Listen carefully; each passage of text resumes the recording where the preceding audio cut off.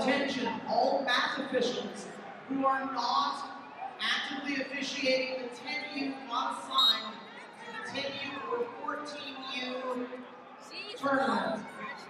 We need you for a brief meeting in the green room by mat two.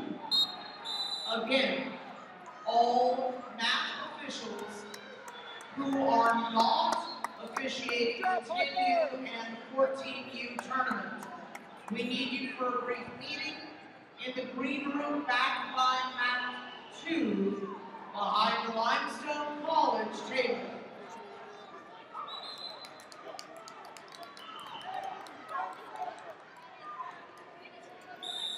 Ladies and gentlemen,